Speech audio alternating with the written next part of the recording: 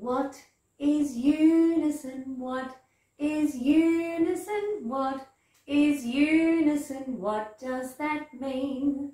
I'll get a friend of mine to come and sing with me, singing the same melody, and so that means we're singing in unison, singing in unison, singing in unison. That's what that means. But I'll get a friend to come and play with me, playing the same melody. And now that means that we're all in unison, we're all in unison, we're all in unison.